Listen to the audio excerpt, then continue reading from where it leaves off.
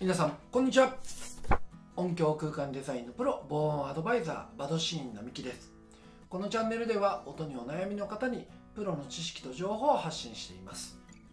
でここ何回かでね、えーと、DIY での防音とかをお話しさせていただいたり施工の方を上げてきたんですけども、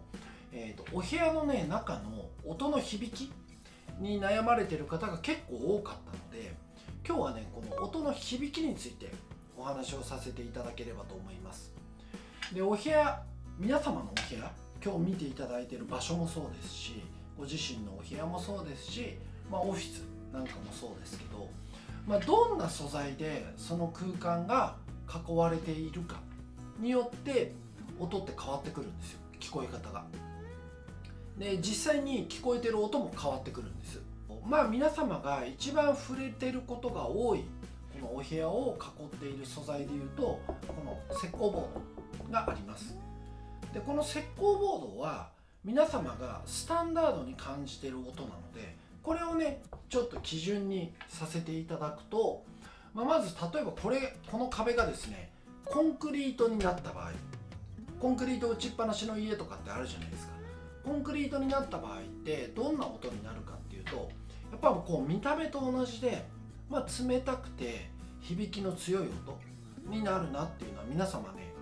イメージできると思うんですよ。で実際コンクリート打ちっぱなしのお部屋とかに住んでる方とかコンクリート打ちっぱなしのオフィスでお仕事してる人なんかはやっぱ響きがきついなっていうのは体感されてると思います。でそういう時はねちょっと響ききついなって感じたら吸音パネルとかを貼っていただくと全然改善してくるのでその辺調整いただければと思います。でコンクリートっていうのはやっぱり冷たくて響きの強い音になります。あとは何だろうなスチール、えーと、鉄とかアルミとかのパーテーションとかで囲われてるお部屋とかにいる方もオフィスなんかだと特にいると思うんですけど、えーとスチールとかアルミとかってやっぱりこう機械的な音が跳ね返ってくるんですよ。もうコンクリート同様キンキンとした、えー、跳ね返りの強い音になるのはもちろんなんですけどそれに加えてですねやっぱり硬くて機械とかで使われてる素材になるので機械的な音が跳ね返ってきます。で私は特に苦手苦手です。耳とかの奥にこう響くような音の跳ね返りをしてくるのでまあ、スチールのパーテーションとかアルミのパーテーションとかで囲われてる会議室とかに何も置かれてない状態で入ると結構苦しいお部屋になります。なのでアルミとか、えー、とスチールとかで囲われてるようなお部屋っていうのはイメージ通りキンキンとした機械的な音が跳ね返ってきます。でこの石膏ボードをスタンダードにさせていただいた形で、まあ、もっと温かみのあるえー、心地よい響きの音っていうのを求めていくんだと例えば木、えーと、部屋の仕上がりが木でできてるようなお部屋、えーと、ログハウスとかあとはこの表面にね、あのー、OSB とか合板を貼るとかでももちろん全然音の響きは変わってきます。で木の音の響きっていうのはやっぱり温かみがあって柔らかい音になるんですよ。なので楽器とかはほとんど木で作られてるっていうのをイメージしていいと思います。なのでちょっと温かみのある柔らかい音の中で過ごしたいなと思ったら是非木を壁に立てかけてみたり、えー、と壁に貼ってみたりしていただくとすごく温かみのある音の響きが実現するお部屋になってきます。ログハウスとかねやっぱりあのも木の仕上げそのままに見せるような家っていうのはやっぱりあの温かみがあってすごく心地いい音の響きしてるところが多いですよね。なのでその辺住宅展示場とかで、えーと、無垢素材で全部仕上げてますっていう家とかもありますので是非ちょっとそういうところを体験してみていただいたらなんか温かみのある音だなっていうのは感じてもらえると思います。であとはこう、えーと漆喰とか。塗るような壁っていうのもなんかこう見た目のイメージ通り音も吸ってくれるし湿度も調整してくれるしなんか気持ちいい音になりそうだなっていうイメージを描く方多いと思うんですけどもう本当にその通りになります。なので予算にねちょっと余裕がある方なんかはこう漆喰とかでの仕上げなんかにチャレンジしてみてもいいかなと思います。であとは皆様がよく体験されるところでいうとガラスかな？ガラス。ガラスに覆われてる空間で過ごしてる方っていうのも結構いると思うんですよ。タワーマンションとか、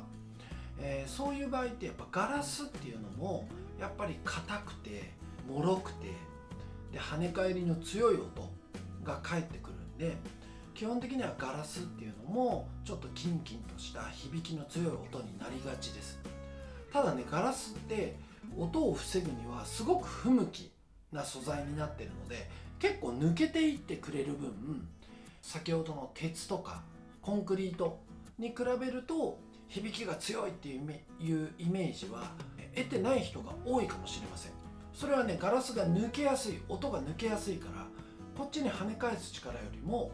抜けていく音の方が多くなるのでそこそこ響きがいい音になってるように感じる方もいるかもしれません。ただもう完全にガラスで覆われてる部屋とかっていうのはやっぱすごく冷たくて、えー、すごく跳ね返りの強い音になってきます。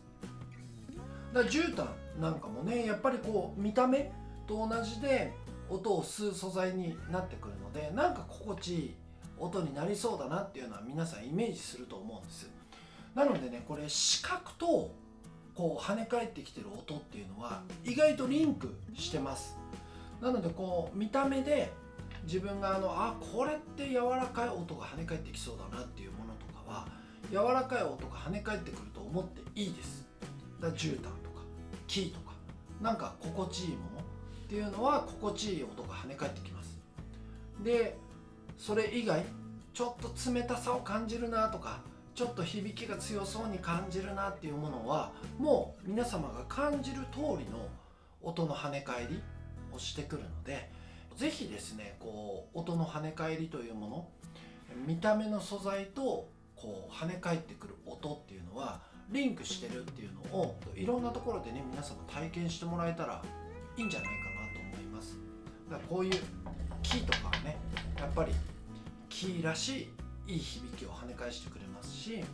石膏ボード。これはもう皆様のスタンダードと捉えていただいてこれよりも硬くて冷たそうな素材っていうのはそういう音が跳ね返ってくる。石膏ボードよりも温かみがありそうで柔らかそうな音をイメージできる素材っていうのはそういう音を跳ね返してくれると思ってください。なのでこう今過ごしてるお部屋とか今過ごしてるオフィスとかに音の響きに不満を感じるようであれば表面的に見えてる素材を変えてみるとか。あとは表面的に見えてる素材を変えることはできないので強いキンキンするような音を防ぎたいってなった場合には、えーと、吸音パネルに関する情報とかも動画で上げさせていただいてるのでちょっと吸音パネルを貼ってみるみたいなことをしてみるといいかと思います。で今日、えーと、こちらの動画の方には、えーと私たちのオフィスの方の 3D の 3D で私たちのオフィスの中を見れるようなホームページをリンクで貼らせていただくので私たちが使ってる、えー、打ち合わせブースなんかはやっぱコンクリートと石膏ボードで囲われてる部屋なので音の響きがすごく強かったのでちょっと吸音パネルが貼ってあるとか、えーと、シアタールームとかに関しては、まあ、吸音パネルを使ったりしているとかあとソファーとかも音すんだなみたいなものとかもこう 3D の画面の中で、えー、気づいていただけると思いますのでこうリンクで貼らせていただくので是非その辺お試しいただければと思います。あここってこういう響きしそうだからこんな風にバドシーンは仕上げたのかなとか防音室の中もねちょっと見れるようになってるので防音室の中はあこういう柔らかい音にしたいっていう意図もあってこんな素材使ってるのかななんていうのも憶測しながらうちのオフィスのツアーを楽しんでいただければと思います。なので今日は音の響きについてお話をさせていただきました、えー、私たちの会社の方にですね、えーと、音に関するお問い合わせいたしたいなっていう方はこちらの LINE のツールからお問い合わせができますので是非お問問い合わせいただければと思います。でたまにね電話でお問い合わせいただいちゃう方もいらっしゃるんですけどもなかなか電話でしっかりと対応して皆様のご質問にお答えするまでの時間はちょっと取れませんので LINE でお問い合わせをいただければと思います。で本日は音の響きについてお話をさせていただきました。最後まで動画を見ていただきありがとうございます。音響空間デザインのプロ防音アドバイザーバドシーン並木でした。ありがとうございました